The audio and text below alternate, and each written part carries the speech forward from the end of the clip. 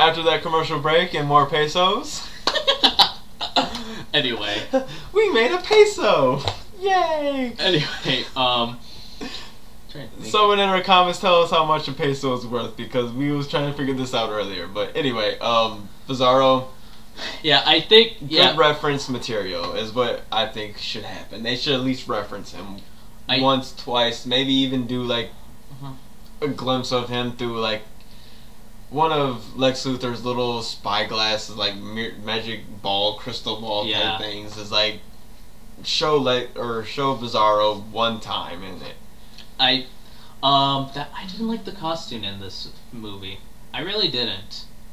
That, yeah, I was kind of wanting to talk about the costume too. It's It- like like okay, say what you want about Superman, but the bright colors meant something. Like with this movie, sometimes it kind of looked like almost a deep, a dark purple on sun on sun.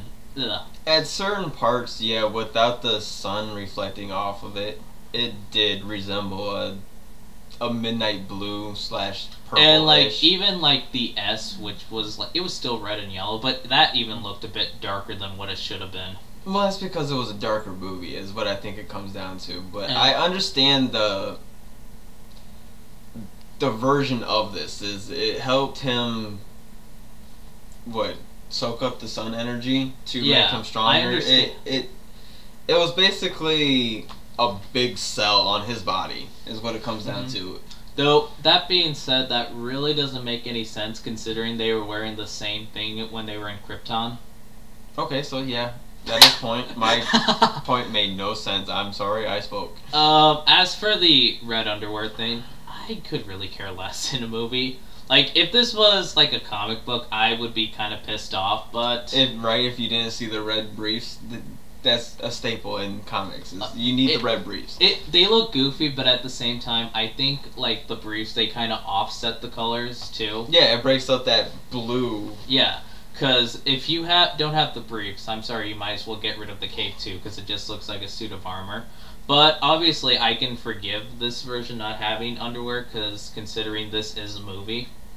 It would have looked rather ridiculous. That And- a dude running around with a red brief looking thing right there. So And like, and it's kind of the same thing with uh, Tim Burton movies. Like, at, instead instead of him having like the black underwear, uh, the gray and black underwear, like say the Adam West Yeah. TV, so they paid they played it perfectly with just him being in all black. and that after that, it became a staple. It was like yeah, no more briefs for this guy. It's like he still wore briefs in the comics, but in the movie, in the movies, it's like no, he has a black suit now. except for So this could except could for we Schumacher, but that's different in general. poor nipples. Badass and badass and bat nipples. nipples, man. That's nipples. I said nipples on the internet like five times. but there's just one thing you can't get past is the nipples. But um, yeah, I think we could be seeing uh, a thing where it's like we get rid of the red briefs. He has the straight suit of blue with red. I did like how the cape was introduced instead of it just being tucked under the, the whole suit. what the whole CGI cape?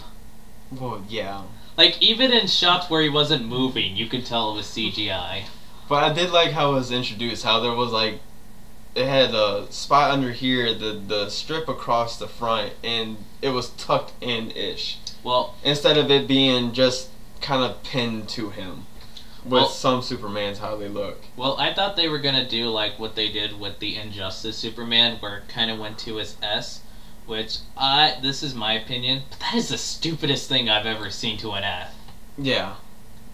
I like the game, but I really didn't like the costumes in that movie game.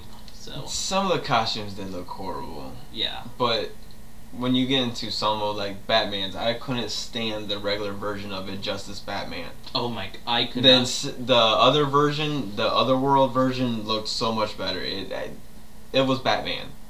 How did we so- change stuff? Anyway, We do it all the time. That's Um, how we do. yeah, I it is. I did like the fact that they did reference instead of being an S on his chest, It- which everyone knows is for Superman, or depending on what year you go with. I think it was the Golden Age. It was strength. Mm-hmm. and then it just became well, it's Superman. Yeah, I think, and that's kind of being faithful to the comic too, because I think The that's S- what it was. the S does stand for the House of the House of El. yeah. At the same time, it works really well that it stood for hope because I, of like the few things the movie did get right, I think that was probably the best thing. I thought that was probably the defining moment of the And- whole costume was the fact that the symbol on his chest was the House of El's hope symbol. Which, and when you think about it, really doesn't make any sense considering the House of El is like uh, it's like scientist Yeah. instead. It so wouldn't it be like some some type of Kryptonian form for that? But What I did find kind of funny is if you play Injustice, the game, the Red Sun pack, if you get that packed, it looked a lot like General Zod's symbol. Yeah, Like almost to a T, it was General Zod's symbol was the red sun. So I- are they trying to say General Zod was the red sun? um, Which makes no because no, it wouldn't be because Red. The whole premise of Red Sun was, Was what the- if Superman was land was- instead of landing in Kansas, he landed in Russia, which makes yeah, but it was the almost the exact same symbol for General Zod was the red sun symbol. almost. It, all they needed was the the, It- the hammer, Yeah, the hammer and The a hammer slight more point to the, the sickle. to the sickle. Um, So it's I didn't like. is there that least amount of symbols in Kryptonian that, like, kind of like in uh, some of our letters, like the O and the Q are the exact same, except for the Q has a little in it. So I mean, I can understand it, but it's just it was I way too close for my comfort. I didn't like his costume simply on the basis was it was pitch black. That's all it was. Even with the sh- the symbol, Well- and I'm not talking like when he had the armor on. I'm talking like when he had just the suit in general. He was the general. He was the general, and uh, any war person in Kryptonian was blacked out. Uh, hence the skull-looking mask when they had their suit on. and it kind of looks just dumb to me because he sort of had like these not gauntlets but kind of like these protect Basically, it was a gauntlet, dude. Sort- That's what it comes down to. Is which to me if he was to buy something on the internet, it would be categorized as a gauntlet. yeah he had like these gauntlet things but the way with his suit was set up was like i'm it was bland to the point if like you just replaced like his symbol with the with the yellow with the yellow lightning and like the gauntlets were yellow he would totally look like black adam he totally would, really. and I saw exactly where you was going with that as soon as you said that. I was like, oh my god, it's Black Adam, almost. Yeah, like even when like when he was flying, like I was like, oh my god, he looks like Black Adam. We got Black, we got Superman's version of Black Adam, and that's, that's Shazam and Superman. They're not gonna make a Shazam movie, no matter how hard you try. they will never make a Because Shazam, I- only in animation. For some weird reason, DC still hates Shazam. Well, Captain Marvel, but yeah. oh, that was awesome. Uh, Other than a couple things with the suit, I thought it was.